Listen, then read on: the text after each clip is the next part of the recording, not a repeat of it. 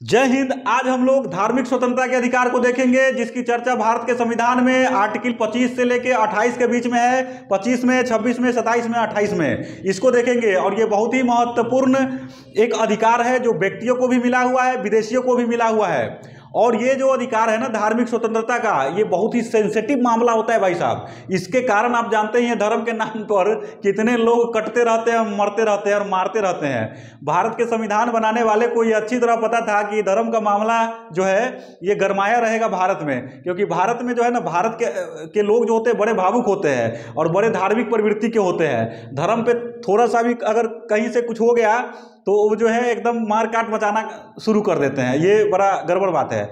तो संविधान बनाने वाले को पता था कि ऐसा अधिकार उसमें दे दीजिए कि कोई विवाद ही नहीं रहे, लेकिन विवाद फिर भी हो जाता है। संविधान में लिखा हुआ है कि भारत एक पंथ निरपेक्ष राष्ट्र है।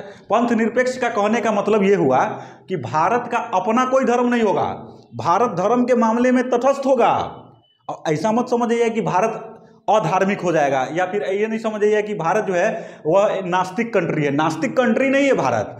भारत नास्तिकों को भी बढ़ावा नहीं देता है और आस्तिकों को बढ़ावा देता है। वो दोनों के मामले में तटस्थ है। कहता है, तुमको जो भी धर्म मानना है, तुम मानो। कोई भी आचरण करना है, तुम आचरण करो।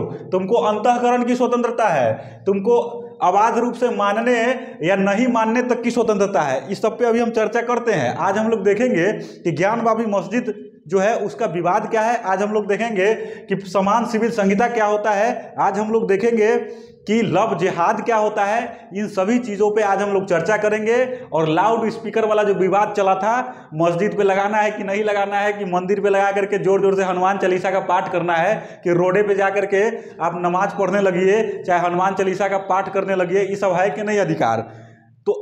ये सब इसी में आता है और सबको हम लोग एक एक करके देखते हैं। तो चलिए, सबसे पहले देखिए कि अंतकरण की स्वतंत्रता क्या होता है।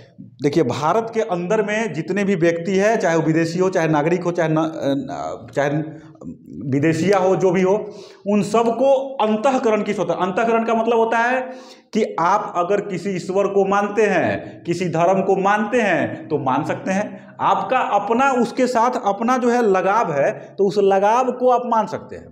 कोई भी राज्य कोई भी सरकार ये नहीं करेगा कि भैया तुम उसको क्यों मानते हो या तुम नहीं मान सकते हो। ऐसा आपको कोई नहीं कहेगा आपको कोई वर्जित करेगा। आपकी मर्ज़ी है।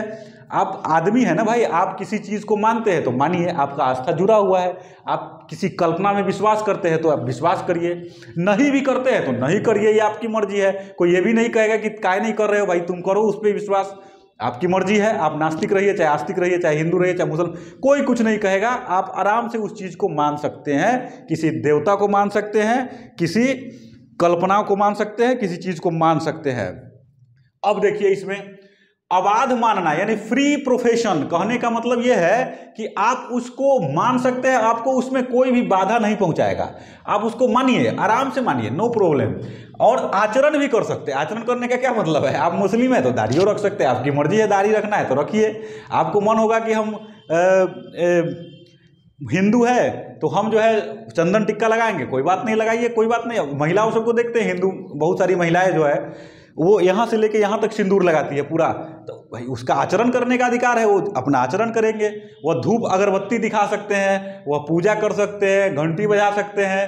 वह उनको जैसे भी करने का मन है अपना पूजा, वो कर सकते हैं। उनकी आस्था जिस तरह से जुड़ी हुई है। कोई ये नहीं कहेगा कि भैया नारियल तुम काहे फोड़ रहे हो? अब देखिए, नारियल फोड़ने वाली बात आपको हम बताते हैं। एक व्यक्ति था जो सरकारी व्यक्ति था उसका नाम टीना डावी आपको हम बताते हैं।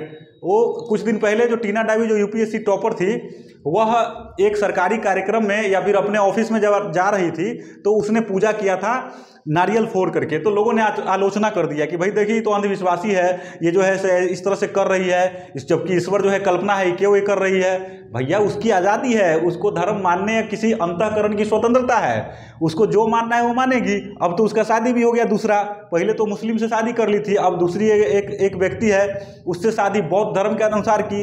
अब उस समय जो रीति रिवाज से शादी किया गया, एकदम उलट करके, अभी बौद्ध धर्म, बौद्ध के धर्म के अनुसार उन्होंने शादी रचाया। तो उसकी आज़ादी है भाई, ज़बरदस्ती क्या कर रहे हो? कि ऐसे नहीं करो ऐसे नहीं करो ऐसे नहीं करो ऐसे नहीं करो। तो सबको आज़ादी है। आपको भी आज़ादी है, उनको भी आज़ादी था। अब देखिए इसमें प्रचार करना, अपना धर्म को प्रचार कर सकते हैं। अगर आप किसी चीज़ को मानते हैं तो जाइए दूसरे को कहिए, उनको मोटिवेशन दे सकते हैं, उनको आप कह सकते हैं कि देखिए भैया, ये हमारा धर्म है, ये ऐसे ऐसे है। लेकिन याद रखिएगा इसमें इसमें आप किसी का धर्मांतरण नहीं करा सकते। इसमें ये नहीं कर सकते हैं कि भैया तुम जो है अपना धर्म को बदल करके दूसरे धर्म को अपना लो। उस पर दबाव नहीं दे सकते हैं। आप सिर्फ़ सलाह दे सकते हैं, सुझाव दे सकते हैं, उसको प्रभावित कर सकते हैं, लेकिन आप लालच दे करके उसको धर्म को बदलवा नहीं सकते हैं। अगर दबाव देते हुए पकड़े गए तो पुलिस आपको पकड़ लेगी और इसमें बड़ा अच्छा खासा दंड है। पुलिस तोड़, तोड़ेगी भी आपको अच्छे तरीके से। कर्नाटक में हाल फ़िलहाल में एक एक लॉ बनाया है, जिसमें कहा है कि कोई भी धर्म का अगर बदला ज़बरदस्ती करता है और अगर उसके बारे में रिपोर्ट हो जाता है तो फिर इसके लिए कड़ी से कड़ी सजा दी जाएगी। इससे पहले भी बहुत सारे स्टेट ने बनाया हुआ है कि धर्म परिवर्तन नहीं करवाना है दबाव दे करके। स्वेच्छा से कोई करता है तो कर ले, लेकिन सरकार को क्या करना होगा, उसके लिए उसको कहना पड़ेगा कि भैया, हम स्वेच्छा से अपना धर्म बदल रहे हैं, उसको रिपोर्ट करना पड़ेगा। तो ये चीज़ें इसमें है। धर्म किसी का बदला नहीं सकते हैं। ये बड़ा विवादित हो जाता है भाई, अगर इसको अगर आज़ादी मिल जाएगा तो फिर तो दिक्कत हो जाएगा ना। ये आप तो देख ही रहे हैं धर्म के नाम पे कैसे लोग कुत्ता फजीती करते हैं और आपस में लड़ करके एक दूसरे को काट डालते हैं। देखिए, इसमें धार्मिक कार्य धार्मिक कार्य करने की स्वतंत्रता है। अभी तो आपको हम बताया है कि नारियल फोड़ सकते हैं। लेकिन भाई साहब, इसमें ये नहीं कि रोड पर बैठ के नमाज़ पढ़िए और उधर से पब्लिक को दिक्कत हो रहा है। उधर से जनता जा रहा है, उसको दिक्कत हो रहा है। आप उसी में बैठ के नमाज़ पढ़ रहे हैं। तो इसका विरोध कुछ लोगों ने किया। उसके प्रतिक्रिया में हनुमान चालीसा जा करके बीच रोड पर बैठ के पढ़ गया। दस बारह को हुड को मैंने देखा था। वीडियो भी वायरल हो, रहा था उसका वो गया और बीच में बोलते इधर से गाड़ी गुजर रही है इधर से गाड़ी गुजर रही है। अब बताइए अब गाड़ी से आकर के अगर किसी को चाँप उप देता तो कहता कि भैया ये चाँप दिया। तो रोड पे पढ़ने का क्या मतलब है भाई? आप तो विवाद पैदा कर रहे हैं आपको आज़ादी मिला हुआ है तो इसका मतलब थोड़ी है कि आप कुछ भी कर दीजिएगा। लाउड स्पीकर देखिए लाउड स्पीकर वाला विवाद हुआ है कि भैया लाउड स्पीकर बजाना है नहीं बजाना है? लाउड स्पीकर रात में दस बजे से लेकर सुबह सात बजे तक नहीं बजाना है। और उसका अगर बजाते भी है दिन में भी तो आपको उसका आवाज़ को एकदम कम रखना है, इतना कम रखिए कि ज़्यादा दूर तक नहीं जाए। इसमें भैया, फिर तो बात वही हो गई ना, आप पब्लिक के ऑर्डर को, यानी आप जो है, एक प्रकार से समाज में किसी दूसरे को तकलीफ़ दे रहे हैं, उसके स्वास्थ्य पे उसका असर पड़ेगा, क्योंकि साउंड पोल्यूशन होता है। अब साउंड पोल्यूशन होता है तो खाली जो है, नमाजें पढ़ने, खाली जो है, आपको अजाने से थोड़ी होता है। मुसलमान लोग अजान जो करते हैं। भैया, आप अगर बाजा रखे हुए हैं, बाजा बजा रहे हैं, मंदिरों पे भी बाजा बजता है, आप कहीं कीर्तन वगैरह करते हैं, वहाँ भी बाजा बजाते हैं। आप बहुत सारे धार्मिक कार्य को करते हैं, ब्याह शादी में तो ऐसे ही बजाते रहते हैं, घंटों के घंटों। नहीं बजाना है वैसे आप दूसरे को स्वास्थ्य को हानि पहुँचा रहे हैं। अब छोटा छोटा बच्चा रहता है, आप एकदम जो है डीजे वीजे बजा दिए, एकदम पूरा उस पर नाच उच रहे हैं। और जो है से कि बूढ़े हैं, बच्चे हैं, उसको दिक्कत हो रहा है। कई बार तो जो है से कि कान खराब हो जाता है, पर्दा पड़ जाता है। हार्ट अटैक हो जाता है तो इस सबको भी ध्यान रखना है। ये सब नहीं कर सकते हैं। धर्म के नाम पे आप इस तरह से कुत्ता फजीती नहीं कर सकते हैं। उसके लिए आपको लेना पड़ेगा सरकार से इजाज़त। देखिए, कितना बढ़िया। हमारे संविधान बनाने वाले ने कितना बढ़िया जो है संविधान लिखा और उसमें ये चीज़ लिखा। सबका ख्याल रखा गया है। ऐसा नहीं ना है कि आपको आज़ादी है तो दूसरे का आज़ादी छीन लीजिएगा। आपको जो अधिकार है, मौलिक अधिकार, वो तब तक रहेगा जब तक कि दूसरे के मौलिक अधिकार को न छीन लीजिए। तो ये चीज़ है। अब देखिए, प्रचार में तो अभी आपको हम बताइए दिए हैं कि धार, धर्मांतरण नहीं करवाना है। अब देखिए, आचरण करने माने हिजाब ड्रेस कोड अभी आप देखिए, कुछ दिन पहले कर्नाटक में एक विवाद चला था। एक स्कूल में जो ड्रेस कोड लागू है, वहाँ पे कहा गया कि कॉलेज में वही लोग आएँगे जो ड्रेस में आएँगे। लेकिन कुछ मुस्लिम बच्चियाँ जो है, वह चली गई बुरके में और बोली कि हमको तो धर्म की आज़ादी है। हमारा धर्म ये कहता है कि आप बुरका पहन सकते हैं। तो हम वो पहन के आए हैं। हम हम, हमारा तो धार्मिक आज़ादी है, आप हमको रोक नहीं सकते हैं। तो वहाँ पे जो प्रबंधक था, उसने कहा कि ये आज़ादी नहीं है, हमारा भी अपना एक ड्रेस कोड लागू है, उस ड्रेस कोड में ही आना है। तो प्रतिक्रिया में इधर से हिंदू संगठन जो है, उसने भी कुछ बच्चे को खड़ा कर दिया कि कहा कि तुम जो है, नारंगी रंग का पहन करके जाओ और उधर जो है मुस्लिम लोग, वो काला काला लिबास वाला पहन के आएँगे, दोनों में विवाद होगा, इसका मज़ा लेंगे हम सब लोग। और देश में जब दंगा होगा इसके नाम पे तो और ज़्यादा, देखिए पॉलिटिकल पार्टी जो होता है, वो इसी तरह के कांड को करवाते रहता है। आप देखते हैं कभी कभी चैनल में एगो दाढ़ी वाला को बैठा देगा एगो चंदन टिक्का वाला को बैठा देगा, दोनों को लड़वाएगा। और खुदे जो है उसमें शामिल रहता है। तो देखिए इस तरह के जो कुत्ता फजीती होता है ना इसके पीछे का कारण यह है कि हम ज़्यादा शिक्षित नहीं है साक्षर नहीं है संविधान विधान पढ़वे नहीं करते हैं। अब उस बेहुदा को संविधान पढ़ना चाहिए नहीं तो मेरा क्लास करना चाहिए तब तो समझ में आया ना कि धार्मिक स्वतंत्रता में क्या होता है। ड्रेस कोड जहाँ लागू होता है वहाँ पे आप नहीं जा सकते हैं उस तरह से ए, ए, किसी भी दूसरे ड्रेस को पहन करके। ये धार्मिक स्वतंत्रता में नहीं आता है। कोर्ट ने भी खारिज कर दिया कहा कि ऐसे कैसे होगा? बुरका पहनना ये अनिवार्य तत्व तो नहीं है इस्लाम का। आप जो है ऐसे कैसे कर सकते हैं कि भैया ये हमको ज़रूरी ही है? साथ ही साथ बकरीद के मौके पर कुछ लोग गाय काट दिए। तो हिंदू लोग चले गए कि भैया गाय क्यों काट दिए? वहाँ विवाद हो जाएगा कि भैया गाय काट दिए। गाय गाय को तो माता मानते हैं पवित्र मानते हैं। हालाँकि गाय को पवित्र मानते हैं भैया भैंसी को पवित्र गाय नहीं मानते हैं? वो तो पूछना पड़ेगा। जब गाय को माता मानते हैं तो भैंसी को भी तो मानना चाहिए ना वो भी तो दूध देती है ना। वो, वो, वो भी तो काम की ही है। उसको मौसी क्यों नहीं माना जा सकता है? खैर वो तो अलग बात है। अब देखिए गाय गाय को काटना नहीं है। बकरीद पर भी गाय को नहीं काट सकते, कोर्ट ने रोक लगा दिया है। आप बकरीद मना रहे, ठीक है, आपका धार्मिक अपना स्वतंत्रता है, इसका मतलब थोड़ी है कि जानवरों को काट दीजिए। जानवरों को नहीं काटना है। जानवर को काटेंगे तो उसका भी तो अधिकार है ना? जानवर को मार दिए, उसका अधिकार नहीं है क्या? उसका भी तो अधिकार है। इसलिए ये ये काम नहीं कर सकते। ये आपकी धार्मिक स्वतंत्रता में नहीं आता है। जुलूस है। जुलूस कहीं निकाल रहे हैं, हथियार को बाँध रहे हैं, तलवारें बाँध रहे हैं, त्रिशूल बाँध रहे हैं कुछ बाँध रहे हैं। अरे भाई, दूसरा आदमी को देख करके परेशानी हो जाएगा। आप तो तहलका मचाने के चक्कर में लगे हुए, दूसरे को दहशत में डालने के लिए चक्कर में लगे हुए तो ऐसे थोड़ी होगा। आप लोग व्यवस्था को भी बिगाड़ दीजिएगा।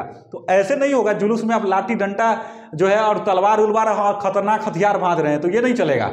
साथ ही साथ एगो पंथ होता है जो कि मानव के खोपड़ी लेकर के वो जो है, वो चलता है। तो कहा कि भैया, रोड पे आप ऐसे नहीं कर सकते हैं। आप किसी ऐसे सार्वजनिक स्थान पे जाकर के खोपड़ी नहीं बाँध सकते। बच्चे देख के डर जाएगा। कहेगा, अरे, ये कौन चीज़ है? तो वो चीज़ नहीं कर सकते हैं। वो आज़ादी नहीं है आपको करने का। आप जाइए, आपका अपना आज़ादी है तो पर्सनली कहीं पे अपना गुफा में अपना करिए आप। लेकिन ऐसा तो नहीं है कि पब्लिक में आकर के ऐसे करेंगे हथियार नहीं लड़ा सकते हैं। उसी तरह से सरकारी ज़मीन सरकारी ज़मीन पे अगर मस्जिद बना दिए, चाहे मंदिर बना दिए, चाहे चर्च बना दिए, चाहे गुरुद्वारा कुछ बना दिए, उसको सरकार तोड़ सकती है, उसको अधिकार है। अब ये नहीं कह सकते कि भैया हमारा मंदिर तोड़ दिया। अरे कैसे नहीं भाई, आप उसके सरकारी ज़मीन पे बना दिए, अपना पर्सनल में बनाना है ना? तो सरकारी, अब अधिकांश लोग क्या करते हैं, हम देखे हैं कि सरकारी ज़मीन जो रहता है, जब उसको हथियाना रहता है तो आगे से वो क्या करेगा? एगो हनुमान जी का मूर्ति खड़ा कर देगा। और पीछे वाला ज़मीन हथिया करके उस पर काम करेगा। गजब होता है ये सब। हमारे देश में खूब कांड होता है ये सब। जहाँ जहाँ बहुत जगह ऐसा है जहाँ हनुमान जी का मूर्ति खड़ा है और पीछे का सरकारी ज़मीन कब्जा लिया। ऐसा भी बहुत सारे माफिया होते हैं भू माफिया सब। जो धर्म के नाम पे दूसरे को चुतिया बना करके जो है, वो अपना उल्लू सीधा कर लेते हैं। और उनको पता है कि धर्म के नाम पर इसको कोई हटाएगा नहीं हटाएगा तो फिर मारकाट मचा मचवा देंगे, दंगा फसाद करवा देगा। बड़ा पावरफुल होता है ये सब। तो ऐसा कहीं नहीं है कि आप सरकारी ज़मीन पे बना दीजिए तो सरकार उसको जब चाहे तब तोड़ सकती है। मानव के स्वास्थ्य पे अगर असर पड़ रहा है लाउड स्पीकर बनाने से या पब्लिक का परेशानी हो रहा है आपके किसी धार्मिक कार्य से तो वो मान्य नहीं होगा, उसको माना नहीं जाएगा। अब देखिए, कोई भी भाषा धार्मिक नहीं होता है। अब भाषा को धर्म से मत जोड़ दीजिएगा कोई जैसे संस्कृत है तो संस्कृत को लोग कहता है कि ये हिंदू धर्म। अरे, भाषा भाषा होता है यार। संस्कृत कौन सीख सकता है? अब एगो स्कूल में था जो संस्कृत शिक्षा सिख, सिखाई जा रही थी। कुछ लोग, मुस्लिम लोग चले गए कोर्ट में। बोले कि ये जो है, ये तो धार्मिक शिक्षा दे रहा है भैया, जबकि सरकारी स्कूल में धार्मिक शिक्षा नहीं देना है।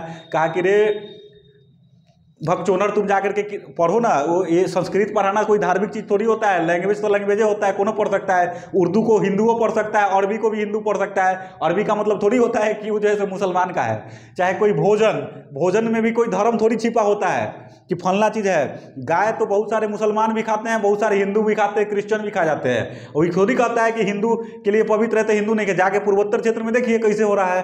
तो भोजन और भाषा का कोई धर्म नहीं होता है भाई साहब। कोई भी कोई भी भोजन कर सकता है। भोजन करने के लिए ये नहीं कहेगा कि भैया तुम ये काहे खाते हो? तुमको मंगलवार को हम ये नहीं खाने देंगे और बृहस्पतिवार को ये नहीं खाने देंगे तो तुमको हम दारी नहीं रखने। सबको आज़ादी है। या भारत देश में जो इस तरह से जो चलते रहता है, ये सब गलत काम करते हैं। वो आप किसी से ज़बरदस्ती नहीं कह सकते हैं कि भैया गर्दन पे जो है सो छुरा रख करके कि बोल जय श्री राम, नहीं तो तुमको काट देंगे। या फिर आप गर्दन पे वो रख के नहीं, अल्लाह अकबर, बोल बोल, एक ईश्वर है, एक अल्लाह है, ये ये भी नहीं कर सकते हैं, ये सब नहीं करना है, ये सब कानून जुर्म है। और हिंदू राष्ट्र वगैरह, हिंदू राष्ट्र वगैरह जो करते रहते हैं, हिंदू राष्ट्र, मुस्लिम राम इससे कुछ नहीं होता है, भारत एक सेकुलर कंट्री है धर्मनिरपेक्ष है, ये हिंदू राष्ट्र नहीं चलेगा यहाँ, ये तुम भाजते रह जाओगे झंडा ये नहीं चलेगा, ये ये ये गड़बड़ बात भी है, गलत बात भी है। अब जिस युवा को पढ़ना चाहिए, उसको कुछ सीखना चाहिए देश में, उसको किताब पढ़ना चाहिए, उसको संविधान पढ़ना चाहिए था वो जा रहा है व्हाट्सएप यूनिवर्सिटी में पढ़ रहा है वो फेसबुक से पढ़ रहा है, उसको कोई गाइड दे दिया और उसी के अनुसार वो चल दिया। अरे यार, तुम्हारा माइंड वॉश करके तुमको देश के खिलाफे खड़ा कर दिया, अपना बाल बच्चा को तो विदेश में पढ़ाएगा। और तुमको जो है, कहेगा कि जाओ तुम धर्म के आधार पर लड़ो। नहीं लड़ना चाहिए। ये आपको ही नुकसान करेगा। उनका तो करियर सेट है। वो अपना बच्चे को विदेश भेजे हुए हैं, उधर से बुलवा लेंगे, फिर सांसदी का चुनाव लड़वाएँगे। या नहीं तो बहुत बड़े बड़े जो संस्थान होते हैं, खेल वाला संस्थान होते हैं बीसीसीआई इस समय आपको सचिव पचिव बनाएँगे। आपको लड़वाएँगे। आप लड़ते रहिए। जबकि सरकार का काम लड़वाना नहीं होता है, लेकिन देश में तो चल रहा है ना। अब तो देख ही रहे हैं क्या चल रहा है अभी।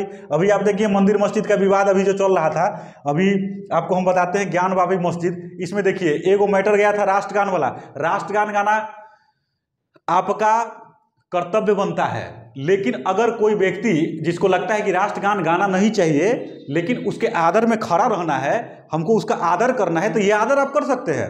एक स्कूल में मैटर ऐसे ही था, मुस्लिम लोग जो थे, वो और कुछ अलग धर्म के लोग जो राष्ट्रगान गा नहीं रहे थे, लेकिन वो खड़ा थे एकदम सावधानी से। वो गया था कोर्ट में कोर्ट में कहा ना ठीक है, वो तो आदर तो कर ही रहा है ना, गा नहीं रहा है, लेकिन आदर तो कर ही रहा है ना। लेकिन ऐसा नहीं कि निरादर कर दीजिए, राष्ट्रगान खड़ा हो जाए, आप कहिएगा, हमारे धर्म के खिलाफ नहीं, हम बोलवे नहीं करेंगे। जो न्यूज़ व्यूज़ में आता है ना, कुत्ता फजीती फैलाने के लिए जो देखते हैं, वो कहेगा, हमको नहीं आज़ाद, ये है, हम, हमारे धर्म रोकता है इसको गाने से। और ये वो कहेगा, गाना पड़ेगा गाना पड़ेगा। दोनों आपस में लड़ेगा, आप देख करके उत्तेजित होते हैं और बाद में आप भी लड़ने लगते हैं समाज में। तो ऐसा जो है, सतर्क रहिए, जब भी न्यूज़ सुनिए तो। ये आपको लड़ाने की कोशिश करते रहता है। देवदासी प्रथा जो साउथ में चल रहा था, ये सब नहीं चलेगा। ये देवदासी प्रथा कोई धार्मिक काम नहीं है, ये सब नहीं चलेगा। अगर ये करते हुए कोई पकड़ाया तो उसको सजा मिलेगा। साथ ही साथ देखिए कृपान लेके चलने का सिख धर्म के लोगों को आज़ादी है। भैया, वो कच्चा कृपान, कंघी वगैरह जो लेके वो उनका अपना अधिकार है। वो उनको माना है। कोर्ट ने कहा कि कृपान लेके चल सकते छोटा सा एक एक चाकू टाइप का होता है, तलवार टाइप का छोटा सा। अब ये नहीं कि बड़का बड़का लेके चलेंगे। वो चल सकते हैं, ट्रेनों में चल सकते हैं, कहीं भी जा सकते हैं। ये अधिकार है। अब ऐसे भी आप देखते हैं कि सिख धर्म वाले जो है, जो गुरुद्वारा बनाते हैं, उसमें खाना वगैरह जो है, वो एकदम जो है से कोई भी जाके खा सकता है। किसी धर्म को वहाँ कोई रोक टोक नहीं है। और इतना बढ़िया उसकी व्यवस्था होती है कि आप देख करके भाई साहब आपको लगेगा कि क्या क्या धर्म है भाई। सिख धर्म जो है, आपको भूखा नहीं मरने देगा। ये इसका एक खूबी है। साथ ही साथ, ये सब तो चर्चा हम कर ही दिए। अब देखिए ज्ञान बाबी मस्जिद विवाद क्या है? देखिए वाराणसी में एक मस्जिद है, जिसमें एक कहा जाता है वज़ू खाना है। वज़ू खाना जो है, जहाँ पे पानी निकलता था, पानी रहता है, वहाँ पे मुस्लिम लोग क्या कहते थे, पैर उड़ धो करके नमाज़ वमाज पढ़ते थे। वहाँ पे वो फब्बारा, जैसे वो लोग बोलते हैं कि एक फब्बारा है, जिससे पानी निकलता है और उसमें वो अपना पैर उड़ धोते थे। लेकिन एक हिंदू पक्ष जा करके कहे कि ये जो है, यह शिवलिंग है, यह शिव जी का वो है। वो वो फब्बारा नहीं है, वो शिवलिंग है। आज से बहुत दिन पहले वहाँ मंदिर था और मंदिर को तोड़वा करके औरंगज़ेब ने वहाँ पे मस्जिद बनवा दिया और वह शिवलिंग को ऐसे ही छोड़ दिया। वही शिवलिंग है तो हमको आज़ादी मिलना चाहिए वहाँ पे मंदिर बनाने का। बगले में एगो विश्वनाथ मंदिर है भगवान शंकर का और नंदी का मुँह उसी उसी साइड में है तो तिरासी फीट के दूरी पर है। तो कहते हैं कि ये जो नंदी का जो सर है ना उस, जिस साइड में है। तो कहा जाता है कि यहाँ पे नंदी स्थापित है और यहाँ पे तिरासी फीट पर वो मिला है। तो इसका मतलब है कि ज़रूर जो है उसके मुँह के सामने ही शिवलिंग होगा, होना चाहिए। ऐसा दावा लोग करते हैं, लेकिन मुस्लिम पक्ष का कहना है कि भैया ये फवारा है। अभी तक क्लियर नहीं हुआ है कि शिवलिंग है कि फवारा है। अब क्या होगा? वो तो कोर्ट में अभी मैटर चल रहा है, वो तो देखने वाली बात होगी। लेकिन देखिए, इसके नाम पे अगर आपको कोई लड़ाता है और इस पर बहुत ज़्यादा हल्ला मचाता है, ज़्यादा ध्यान मत दीजिए। नहीं तो आपको इसी में उलझा देगा। देश में कितना गरीबी है, निर्धनता है, बेरोजगारी बढ़ गया है, महँगाई बढ़ गया है, उस पर चर्चा होना चाहिए था कि धर्म के आधार पर लड़िएगा। धार्मिक स्वतंत्रता का आपको अधिकार मिला हुआ है, इसको अगर अच्छे ढंग से समझ गए तो समझ लीजिए आपका कल्याण हो गया। अब देखिए इसमें एक उन्नीस में संसद ने वो कानून बनाया, उसका नाम था उपासना स्थल विशेष उपबंध अधिनियम। इसके तहत ही कहा गया है कि 15 अगस्त उन्नीस जब हमारा देश आज़ाद हुआ, उस समय तक जो मंदिर था, वो मंदिर ही रहेगा। और जो मस्जिद था, वो मस्जिद ही रहेगा। आप मंदिर में जा कर के झाँक नहीं सकते हैं। इसी तरह से आप मस्जिद में जा कर के मत जा कर के झांकिए कि भैया किन्ने किन्ने शिवलिंग है, किन्ने पार्वती जी है, किन्ने जो है कोई चीज़ रखा हुआ है। अब किसी भी स्थल को, किसी भी पूजा स्थल को बदला नहीं जाएगा दूसरे धर्म में। ये नहीं कि मस्जिद में को मंदिर में कन्वर्ट कर दिए मंदिर को मस्जिद में कन्वर्ट करिए ऐसा नहीं करना है। ये बना हुआ है कानून, उन्नीस सौ इक्यानवे में संसद ने पास किया हुआ है। इसका नाम रखे हुए उपासना स्थल विशेष उपबंध अधिनियम। अगर आप ऐसा करते हैं तो यह तो कानूनन जुर्म है यह तो एक प्रकार से समझिए कि कानून का खुल्लम खुल्ला उल्लंघन है। अभी तो कोर्ट में चलिए रहा है, हाई कोर्ट में मैटर गया है। अब देखते हैं इसका विवाद का कितना जल्दी खात्मा होता है। अगर खात्मा नहीं हुआ तो ऐसा ना हो कि बाबरी मस्जिद वाला विवाद फिर से हो जाए, और फिर से इसमें कुछ लोगों की जान चली जाए, और फिर देश जो है एक अलगे कुत्ता फजीती में फंस जाए। ऐसा नहीं करना है भाई साहब। अगर आपको शिवलिंग ही चाहिए या ढूंढना है तो पूरे दुनिया में शिवलिंग है। आप देखेंगे तो हम तो भूगोल पढ़ाते हैं तो देखते हैं नदी में, नदियाँ काट काट करके पत्थरों को शिवलिंग की आकृति में ले आता है। तो आपको अगर वाकई में देश से प्रेम है और आप वाकई में राष्ट्रवादी है तो मुझे तो लगता है कि आप विवाद पैदा नहीं करेंगे और सबको साथ लेके चलने की बात करेंगे। तो ये चीज़ तो है, आप, अब अब आप समझिए कि पर्सनल लो ये क्या होता है? देखिए, सभी अलग अलग धर्मों का अपना अपना एक रिवाज है अपना अपना एक रीति रिवाज है।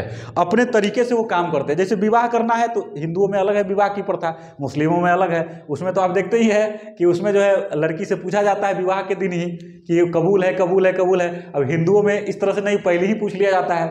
तो रिवाज अलग अलग है।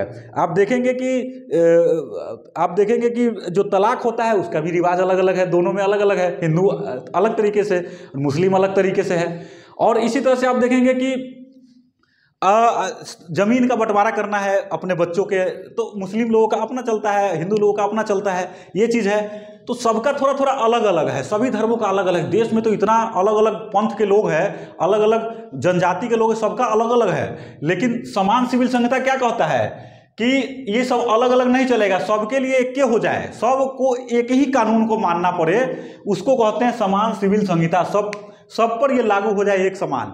मतलब कहने का मतलब है कि चाहे आप कोनो धर्म को मानिए, आपको विवाह करने का रिवाज हो, चाहे तलाक लेने का रिवाज हो, चाहे ज़मीन का बंटवारा का रिवाज हो, इस तरह का जो भी रिवाज विवाज है, वो सब का एक जैसा होना चाहिए। उसको बोलते हैं समान सिविल संहिता। अब इस पर विवाद है। बीजेपी ने कहा था कि जो है कि हम जब जीतेंगे तो 370 हटा देंगे, राम मंदिर बनवाएँगे और समान सिविल संहिता लागू करेंगे। तो एक वो काम तो करिए दिया, दूसरा काम जो अभी अयोध्या में चल ही रहा है या तीसरा ये है तो इस पर भी अभी चल रहा है। अब देखिए क्या होता है, लेकिन आपको हम बता देते हैं कि 2018 में एक विधि आयोग था जिसने कहा कि इसकी कोई ज़रूरत नहीं है। ये फालतू का चीज़ है, इसकी कोई ज़रूरत नहीं है, समान सिविल संहिता की। जब देश आराम से चल ही रहा है तो आप विवाद ज़बरदस्ती पैदा करने की क्या ज़रूरत है? अब देखिए, अब आप इसको आराम से आप समझ गए होंगे कि हम कहना क्या चाहते हैं। धार्मिक स्वतंत्रता में एक है अंतकरण की स्वतंत्रता, आप आराम से मान सकते हैं। अबाध गति से मान सकते हैं, आचरण कर सकते हैं, प्रचार कर सकते हैं। लेकिन ये सब जो है, धर्म के नाम पे आप कोई ऐसा कांड ना करें जो दूसरे के मौलिक अधिकार का हनन होता हो। तो आप इस चीज़ को अच्छे ढंग से समझ गए हैं। अब आप आर्टिकल 26 को समझिए। देखिए, आर्टिकल 26 में है धार्मिक कार्यों के प्रबंध की स्वतंत्रता। कहने का मतलब पहले का जो आर्टिकल देखे थे, वो व्यक्तियों को मिला हुआ था, एक व्यक्ति पे लागू हो रहा था। लेकिन ये जो है, वो समूह पे लागू होगा, सामूहिक रूप से लागू होगा। जैसे, पहला में है कि आप कोई भी धर्म को मान सकते हैं, लेकिन दूसरा में क्या है कि आप बहुत सारे लोग मिल करके कोई धार्मिक संस्थान बना लीजिए, कोई मंदिर बना लीजिए, कोई मस्जिद बना लीजिए, कोई गुरुद्वारा बना लीजिए, कोई क्रिश्चियन का कुछ भी बना लीजिए, चर्च वगैरह, ये बनाने का आपको अधिकार है। और ये जो है ना, आपको उसको भी बहुत सारा फ्रीडम दिया गया है भारत के संविधान के अंतर्गत। क्या क्या है? आप स्थापना कर सकते हैं, कोई भी धार्मिक कोई पूजा स्थल है, बना लीजिए, कोई बात नहीं है। लेकिन हाँ सरकारी ज़मीन उमीन पर नहीं बनाइएगा। पोषण, उसको आप संचित करने का अधिकार है, उसके बारे में प्रचार प्रसार करने, उसमें पैसा लगाने का आपको अधिकार है। संपत्ति के स्वामित्व, यानी अर्जन भी तो कर सकते हैं ना संपत्ति। कोई बात नहीं है, उससे अगर आपको आमदनी होता है तो आप संपत्ति खरीद सकते हैं। इसमें ये चीज़ है। अर्जन और प्रबंधन की स्वतंत्रता, उसको मैनेज कर सकते हैं। अब आपको सरकार नहीं कहेगा कि भैया तुम ऐसा मत करो।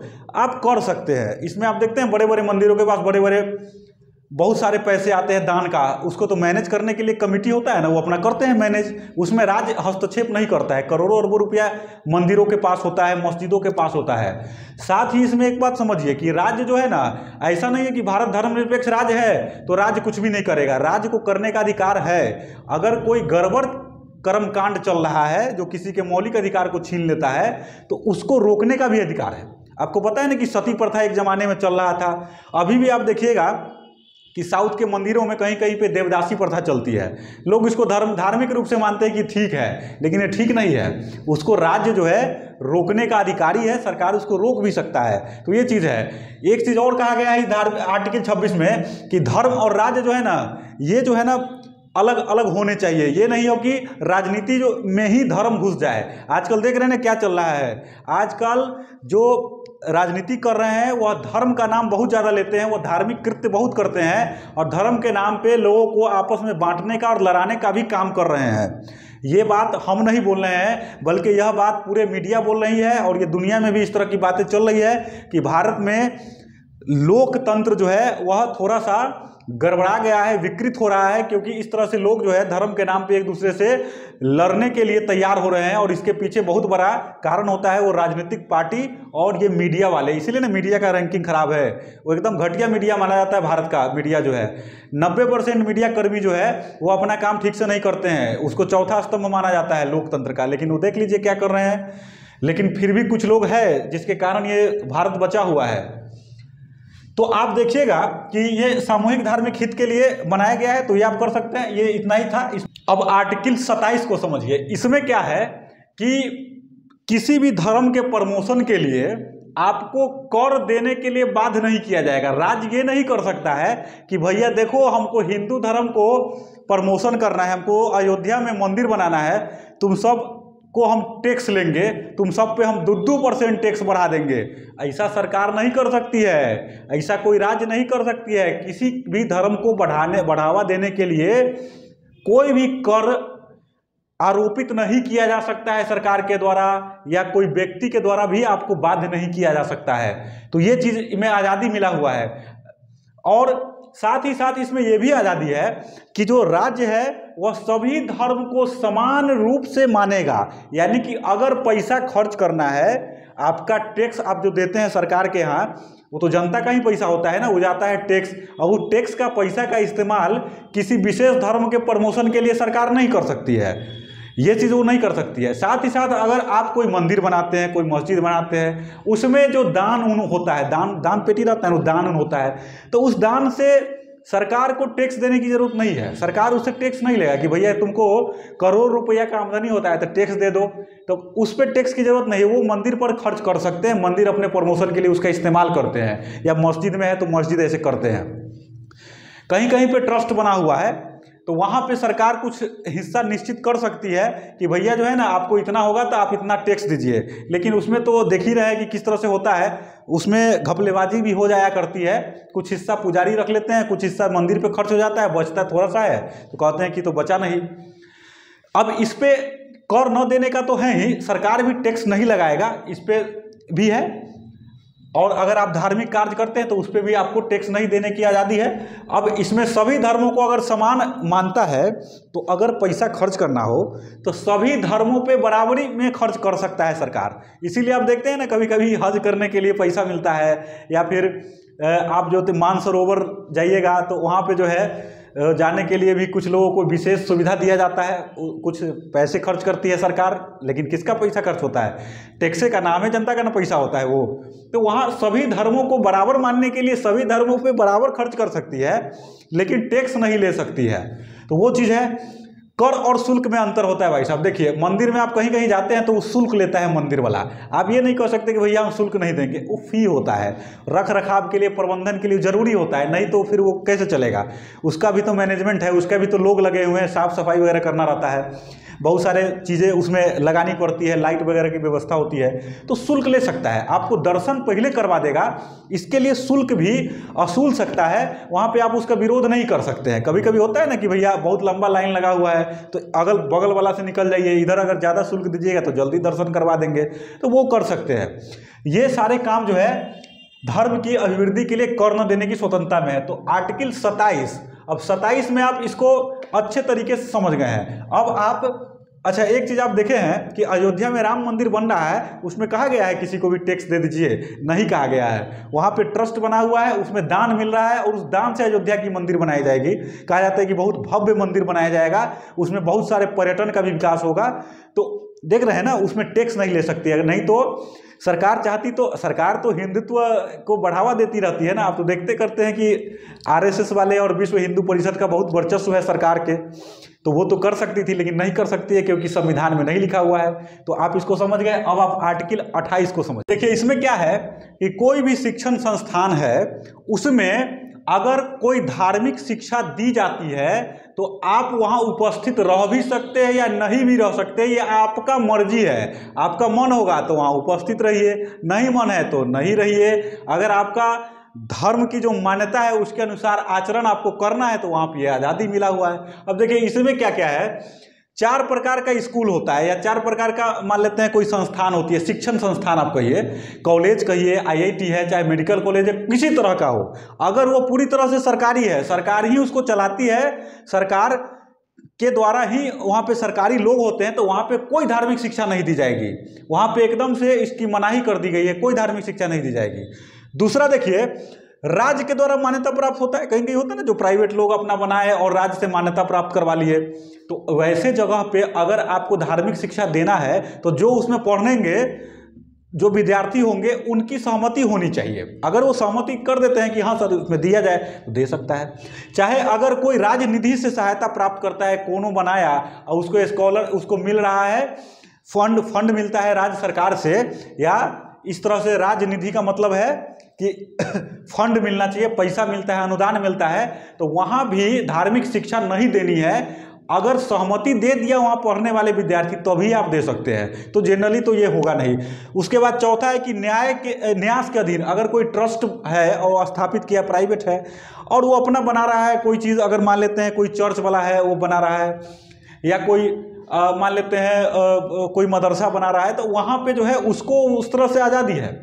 उसमें वो धार्मिक शिक्षा देगा, क्योंकि वो धर्म के विकास के लिए ही बनाया है, धर्म के पोषण के लिए ही धार्मिक शिक्षा के लिए संस्थान बनाया है। क्योंकि धर्म का पोषण कैसे होगा? अकेले कहने से नहीं ना होगा, उसके लिए संस्था भी तो बनाएगा ना वो।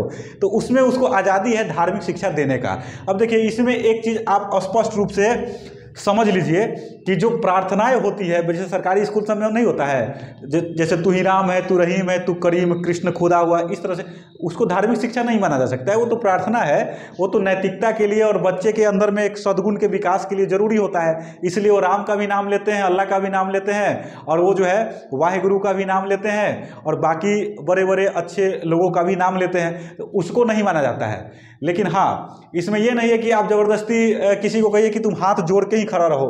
अगर वो ऐसे भी खड़ा रहते हैं तो आदर ही कर रहे हैं। तो यहाँ पे उनको आज़ादी है इस तरह से चीज़ों को करने के लिए। आपको अभी हमने बताया था कि अगर कहीं पर राष्ट्रगान गाया जा रहा हो जनगण मन अधिनायक जय हो, अगर वहाँ पे कोई व्यक्ति है जो आदर के साथ खड़ा रहता है, सावधान की मुद्रा में रहता है बावन सेकेंड तक तो उसको माना जाए कि वो आदर कर रहा है। अगर वो ऐसा नहीं करता है, कहीं बातचीत कर रहा है या भूजा खा रहा है तो खा ही रहा है, फाँक रहा है तो फिर उसको कहा जाए कि वो अनादर कर रहा है और उस पर कानूनी कार्रवाई हो सकती है। तो इस चीज़ को आप अच्छी तरीके से समझ गए होंगे। आप आर्टिकल 25 से 28 में जो धार्मिक स्वतंत्रता का अधिकार है, इसको आप समझ गए हैं। आगे के क्लास में हम आपको आर्टिकल 29 30 बताएँगे और बाकी के जो आर्टिकल्स है कॉन्स्टिट्यूशनल रिमेडीज उसको भी बताएँगे। देखिए, आपसे एक रिक्वेस्ट रहेगा कि आप हमारे वीडियो को ज़्यादा से ज़्यादा शेयर करिए लाइक करिए। और हमारे चैनल को सब्सक्राइब भी कर लीजिए क्योंकि चूँकि करिएगा तभी तो ज़्यादा से ज़्यादा लोगों के बीच में फैल पाएगा और उनको भी एक स्तरीय शिक्षा मुफ़्त में मिल पाएगी। और आप हमारे पास भी आ सकते हैं ऑफलाइन क्लास करने के लिए, बहुत ही कम फ़ी में आपका पूरी तरह से हम बीपीएससी और यूपीएससी और जीएस की तैयारी करवा देंगे, वो एसएससी में भी काम आता है। मिलते हैं आपसे नेक्स्ट क्लास में, तब तक के लिए जय हिंद।